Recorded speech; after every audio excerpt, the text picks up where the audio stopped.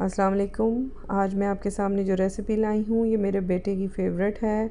उसको बहुत पसंद है इजीली बनाई जाती है और वर्किंग वुमेन के लिए बहुत ही अच्छी है।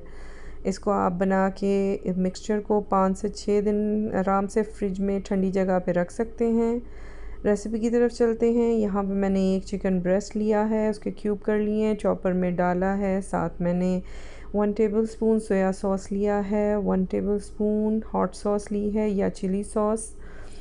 इसके बाद मैं इसमें ऐड करूँगी जो मसाले, वो है white pepper, half teaspoon, half teaspoon और to the taste salt, quarter teaspoon, black pepper powder और साथ गार्लिक पाउडर लिया है, ये ऑप्शनल है, लेकिन बहुत अच्छा फ्लेवर आएगा हाफ़ टी स्पून अब इसको मैं चॉप कर लूँगी और आपके सामने दिखाती हूँ। ये मैंने चॉप कर लिया है और इसको आप मैरिनेट इसकी मैरिनेशन ये इसमें हो चुकी है। अब आप इसको फ्रिज में रखें और जब चाहें पाँच छः दिन तक इसको इस्तेमाल कर सकते हैं।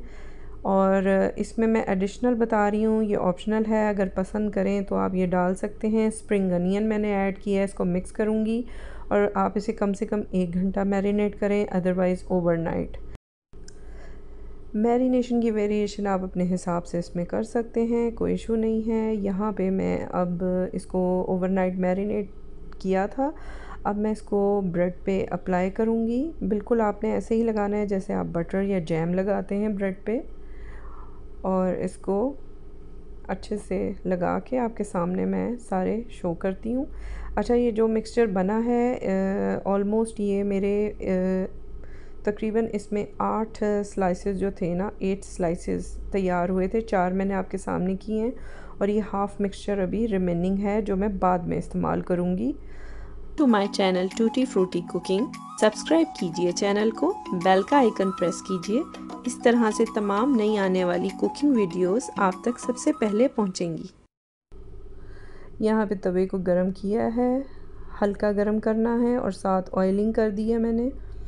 वन और two tablespoon as required आप डाल सकते हैं ऑयल और एक एक करके स्लाइसेस मैं इसके ऊपर रखती जाऊँगी।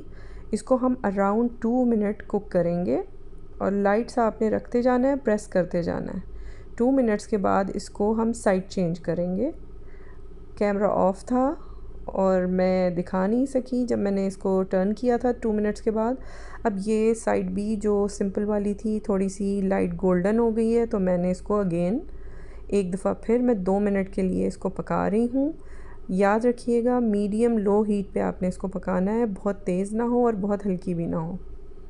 इस तरह से ये आपने लास्ट इसको second time two minutes cook किया और ये रेडी है। बहुत ज़बरदस्त, बहुत मज़े के। इसकी मैरिनेशन मैंने आपको बताया है, जो आप पसंद करें, कुछ और ऐड करना है, कुछ निकालना है, वो आप अपने तरीके से इसको बना सकते हैं। इन मज़ीद अच्छी रेसिपीज़ के साथ आती रहूँगी। अपना ख्याल रखिएगा। अल्लाह हाफ़